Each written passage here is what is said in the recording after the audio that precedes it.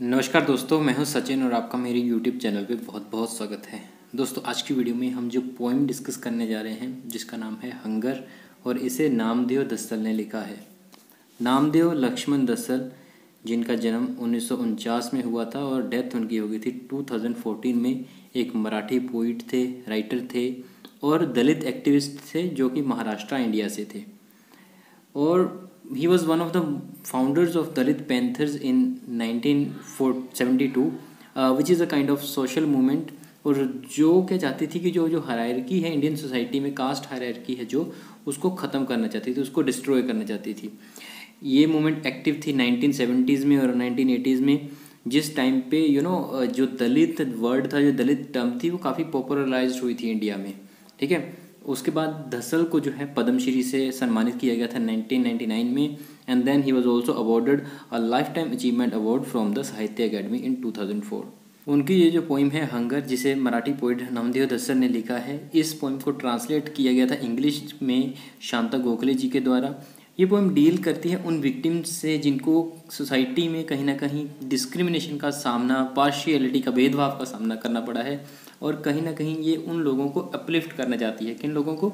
जिनको डिस्क्रिमिनेशन का सामना करना पड़ा है। मतलब कि दलित लोगों को, दलित लोगों के ऊपर ज़्यादा फ़ेमस यू नो फोकस करती है ये पोइम इसकी थीम जो है, उसी के उन्हीं के ऊपर, उन्हीं लोगों के अराउंड है जो कि इस तरीके की चीज़ से गुजरे हैं, जिन्होंने ये सब सहा है। और इस पोइम को वही लोग समझ सकते हैं, जिन लोगों ने इस पीड़ा को, इस दलित होने की पीड़ा को या फिर लोअर कास्ट होने की पीड़ा को समझा है। अगर अपर कास्ट वालों से बोलेंगे तो फिर वो इन चीज़ को नहीं समझ सकते हैं, क्योंकि उन्होंने उस चीज़ को सहा नहीं है। ठीक है? तो बहुत ही कमाल की पोइम है। स्टांजा बाय स्टांजा इस पोएम की एक्सप्लेनेशन करेंगे। तो चलिए शुरुआत करते हैं। Namdeo Dhasal hunger.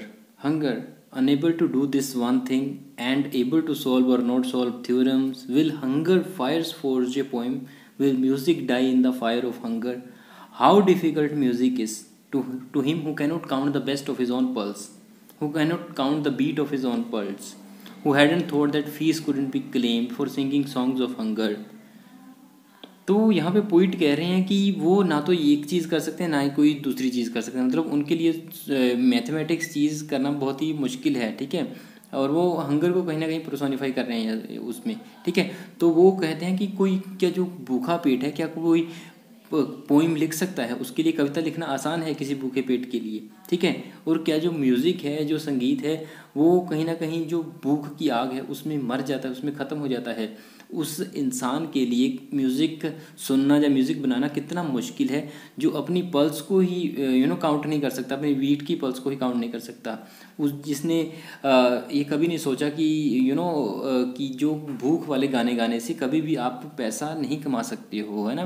भूख वाले गाने कौन सुनता है? ऐसे गाने कौन सुनता है? लोग तो रोमांटिक चीज़ें सुनते हैं ना तो भूख वाले गाने सुनने को कौन सुनेगा और कौन उसको पैसा देगा? ठीक है? आगे वो बोलते हैं hunger a fruitless thing hunger को एक फ्रूटलेस थिंग कहते हैं यहाँ पे वो, ठीक है? फ्रूटलेस थिंग कैसे कहते हैं? कहते हैं however hard you work the reward is still stones. तो बोलते हैं, आप जितनी मर्ज़ी मेहनत कर लो, आप अपनी, आपको अपनी मेहनत का जो है वो फल पूरा नहीं मिलेगा। और दलितों के साथ ऐसा ही होता था। उनसे बहुत ज़्यादा काम करवाया जाता था, लेकिन उन्हें जो फ़ीस थी या उनकी जो मेहनत का फल था या मेहनत के जो पैसे थे, वो उतने नहीं दिए जाते थे, ठीक है? So however hard you work the reward is still stones if stones cannot build a house you will not manage to live in it और वो बोलते हैं कि अगर स्टोन से घर नहीं बन सकता है तो फिर हम उसमें कैसे रहेंगे? ओके सो हम उसमें रह ही नहीं सकते हैं, ठीक है? Then hunger you are mouse gate line in turn how long can mere mortals like a stand in this game that you have set up अब वो हंगर को माउस कहते हैं कैट कहते हैं लाइन कहते हैं और बोलते हैं वी आर जस्ट मोटल्स हम तो मोटल्स हैं. हम कैसे इस गेम को खेल पाएँगे? इस गेम का गेम में तुम्हारा सामना कर पाएँगे जो कि तुमने हमारे सामने खड़ी कर दी है है ना? तो हम we are not capable of of you know of playing with you ठीक है? तो वो कहीं ना कहीं ये चीज़ हंगर को कह रहे हैं, लेकिन कहीं ना कहीं वो अपर कास्ट को भी ये बोल रहे हैं कि अपर कास्ट के सामने लड़ना हमारे लिए उतना पॉसिबल नहीं है। ठीक है? So the poet starts his poem with questions. He questioned that the poem, uh, the, that the poem or one's talent will die under the impact of fire of hunger तो बोलते हैं कि जो poem है या फिर कोई भी और नेचुरल टैलेंट है किसी बंदे में अगर वो अपना पेट ही नहीं भर पा रहा है तो फिर उसका जो वो जो टैलेंट है वो अंदर ही खत्म हो जा रहा है ठीक है? तो उसका सारा जो टैलेंट है वो तो पेट भरने में चला जा रहा है। तो पेट ही नहीं किसी का भर पाएगा कोई अपना पूरी तरह से हंगर ख़त्म नहीं कर पाएगा तो फिर वो अपने टैलेंट को कैसे पहचान पाएगा, अपने ड्रीम्स पे पैशन पे कैसे फोकस कर पाएगा, ठीक है? Now he says that hunger is related to poetic reality and poet deals with it in a physical mental and emotional level okay then the poet says that you may do hard work but you will not get the reward of this work ठीक है? जितना मर्ज़ी hard work कर लो, आपको मेहनत का फल नहीं मिलेगा उसका उसका पैसा नहीं मिलेगा आपको, ठीक है? Now the poet conveys the reality that one's ability is died in the fire of discrimination and he cannot get the real position in his life. तो वो बोलते हैं कि जो किसी भी एबिलिटी है, जैसे भी किसी का कोई फ़ैशन है, वो ख़त्म हो जाता है। कहाँ पे? जब कोई भेदभाव की आग में या फिर भूख की आग में, अगर किसी का पेट अच्छे से नहीं भरा है, अगर किसी के साथ भेदभाव किया जा रहा है तो फिर वो अपने टैलेंट को, अपनी एबिलिटी को कैसे पहचान पाएगा, ठीक है? और उसकी जो रियल पोजिशन है, जब वो रियल पोजिशन जो लाइफ में हासिल कर सकता था, वो उसको कहीं ना कहीं नहीं मिल पाएगी okay then poet also says that the people of upper caste can not survive without the lower caste people they need their help for a lot of things और एंड में वो ये भी कहता है कि जो अपर कास्ट सोसाइटी के लोग हैं अपर कास्ट के लोग हैं, वो लोअर कास्ट से विदाउट के विदाउट सर्वाइव नहीं कर पाते हैं, क्योंकि बहुत सारे कामों के लिए वो डिपेंडेबल हैं लोअर कास्ट के लोगों पर, ठीक है? तो कहीं ना कहीं उनको भी उनकी ज़रूरत है, ये चीज़ उन्हें भी समझनी पड़ेगी। आगे धसल ये भी कहते हैं कि you know Dhasal says that do not play a game with them okay बोलते हैं, हमारे साथ कोई गेम मत खेलो और do not compelled us to make a revolt against you तो बोलते हैं, हमें इतना भी कंपेल मत करो कि हम तुम ही लोगों के अगेंस्ट रिवोल्ट कर जाएँ, ठीक है? Now here he shows his harsh feeling which are full of anger तो वो अपनी हार्श फीलिंग जो है, वो शो करते हैं यहाँ पे, जो कि पूरे गुस्से से भरी पड़ी है। तो चलिए दोस्तों सेकंड स्टांजा पढ़ते हैं। Hunger a shrewd piece is growing everywhere this is the beginning of our new life sentence hunger forgive us that we can not cut the tree of time but even cut the sky will still be blue to which market can we carry dumb hearts तो वो बोलते हैं, hunger एक shrewd piece जो है, एक जो shrewd kind of piece clever kind of piece is growing everywhere हर जगह ग्रो कर रही है, ठीक है? No this is the beginning of our new life sentence ये कहीं ना कहीं शुरुआत है हमारे नए लाइफ सेंटेंस की, हमारी नई सज़ा की शुरुआत हो रही है। Hunger forgive us that we can not cut the tree of time hunger, हमें माफ़ कर दो, क्योंकि हम जो समय का पहिया है, इसको कट नहीं कर पाते हैं, कर सकते हैं, ठीक है? हमें ये सहना पड़ेगा, जो भी हमें साथ हो रहा है, उसको कहीं ना कहीं हमें सहना पड़ेगा, ठीक है? But even cut the sky will still be blue अगर हम उसको कट भी कर देते हैं, लेकिन फिर भी आकाश तो सेम ही रहेगा ना, आकाश तो आकाश को तो नहीं ना बदल सकते हम, ठीक है ना? हम अगर उसको कट करने की कोशिश भी करें, तब भी हम उससे आगे नहीं यू नो रह सकते हैं okay okay? He says that to which market can be carry our dumb hearts अब जो हमारे जो डम्ब हर्ट्स हैं, ठीक है, उन्हें हम किस मार्केट में जाके यू नो कैरी करें? किस मार्केट में लेके जाएँ? वेयर ऑक्शन देम कहाँ पे हम उन्हें ऑक्शन करें, ठीक है? ओके कहाँ पे हम उन्हें ऑक्शन करें? Where they sweeps life who will buy crushed hearts who will profit by the deal तो जो क्रश्ड हर्ट्स हैं, जो टूटे हुए दिल हैं, इन्हें कौन खरीदेगा? है ना? इनसे इन्हें खरीद के कौन प्रॉफिट करेगा? तो चीज़ें तो लोग प्रॉफिट वाली डील ही लेते हैं ना हमेशा से। और अगर इसमें कोई प्रॉफिट ही नहीं है है ना टूटे हुए दिल का तो कोई भी सानी नहीं ना होता तो फिर टूटे हुए दिल को कौन खरीदेगा? तो फिर कहीं ना कहीं ये हमारे साथ गलत हो रहा है ठीक है? Hunger tell us your game your strategy if we can muster guts enough we will fight you to the finish hunger हमें अपनी गेम के बारे में तो बताओ थोड़ा थोड़ी सी ट्रेजिडी के बारे में तो बताओ कि हम इतनी यू you नो know, इतनी गट्स हमारे अंदर इकट्ठी कर लें कि हम तुम्हारे साथ अंत तक लड़ें, अंत तक फाइट करें हमारे साथ, ठीक है? Can't crawl and grovel on our stomachs too long with you हम अपने पेट पर, पेट के बल अभी बिल्कुल यू नो नहीं रग नहीं चल सकते, पेट के बल नहीं रेंग सकते, ठीक है? हम तुम्हारे साथ इतनी दूर तक ऐसे, ऐसी पोजीशन में नहीं चल सकते हैं। How much can we wash the grime of hunger how much wash the dust of years तो वो बोलते हैं हम कैसे जो जराइम है हंगर का उसको हम कैसे you uh, know you know, कैसे वॉश कर सकते हैं? यू नो जराइम मीन्स जमी हुई मैल। How much wash the dust of years तो जो हमारे सालों से हमारे ऊपर यू नो डस्ट पड़ी हुई है काम करने करने से उसको हम किस तरीके से किस तरीके से साफ़ कर सकते हैं? How much scorn to the very ends of scorn हम कितना स्कोन सहें? कितना यू नो घिन सहें? कितनी घिन करते हैं लोग हमसे? तो हम कब तक उसको सहें? कब उसका अंत होगा? Hunger if a bridge of iron will not join you to us then let us fly free like unfettered words तो बोलते हैं, हंगर कोई, क्या कोई ऐसा ब्रिज नहीं है जिससे कि हम तुम्हारे साथ जुड़ सकें, है ना, जिसकी मदद से? अगर ऐसा नहीं है तो हमें बताओ तो हमें हमें उड़ने दो, हमें हमें उड़ने दो, किस तरह के उड़ने दो? हमें फ्री वर्ड्स की तरह उड़ने दो कि जो जहाँ चाहें जा सकें। Hunger your land the thorns upon your land fester in the brain all night till the brain itself तो वो बोलते हैं कि हंगर तुम्हारी जो धरती है, जिस पे कांटों भरी तुम्हारी जो धरती है, वो हमारे यू नो ब्रेन में लगातार लगातार पूरी रात जो है वो चुभती रहती है, ठीक है? और ये तब तक चुभती रहती है, तब तक ये हमें तंग करती रहती है, जब तक कि हमारा जो ब्रेन है, वो फ्रीज नहीं हो जाता, जब तक यू नो ठंडा नहीं हो जाता, वो सोचना बंद नहीं कर सकते, कर देता जब तक वो, ठीक है? Hunger when a thing is taken from the fridge is it still fresh hunger जब किसी चीज़ को फ्रिज से निकाल दिया जाता है, क्या वो उसके बाद भी फ्रेश रहती है? उसके बाद भी वैसे ही रहती है जैसे कि वो अंदर थी? Hunger your every blood drop is cold your every blood drop is mute hunger तुम्हारा जो हर खून की जो बूंद है वो ठंडी पड़ चुकी है। तुम्हारे हर खून की जो बूंद है वो बिल्कुल शांत है। मतलब चल नहीं रही है, वो एकदम से स्टिल है वो। Order let lightning course through the guts order let life gets charged hunger वो बोलते हैं, अब ऑर्डर करो। जो लाइटनिंग कोर्स है, कहीं ना कहीं जो गट्स का, उसे उसे बहने दो, है ना? उस ब्लड को बहने दो। Our life let gets charge हमारी लाइफ को चार्ज करो, ताकि हम कुछ कर सकें अपने लिए, है ना? अपने लिए लड़ सकें, है ना?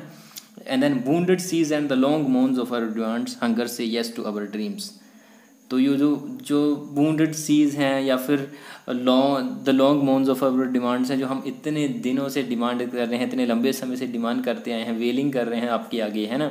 तो hunger say yes to our dreams hunger हमारे जो सपने हैं, इनको फाइनली अब तो येस कर दो. Don't snuff out the orphan hurts upon the shore ठीक है?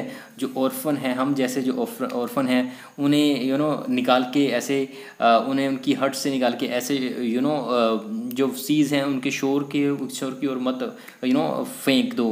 Will see later the gold threaded struggle between the snail of pain and the sea now the poet here demands from the upper caste that please do not you know please do not cut the wings of our dreams and do not behave like a snail of pain he says that the brain of upper caste are freezes freezes. Okay let us start the third stanza hunger we have made our demand. Let you need us. We will never grow. Let us grow. The sun may blithely have forgotten dawn. The river may blithely have forgotten time.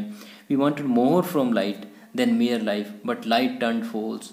Hunger, we will not uh, allow a column of cloud to stand indifferent to our door. How much more can we thank? Pain, the music in pain?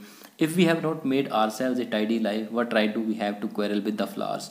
How much can we excite pain? How much can we burn? How much can we catch the fire that burns forever? If our words find no expression in this stream of sun, we'll salute you like defeated soldiers Whoever said that every soldier in the army fights like a man? Now here poet demands that uh, you know keep us allowed to live our life freely without any discrimination, without any partiality.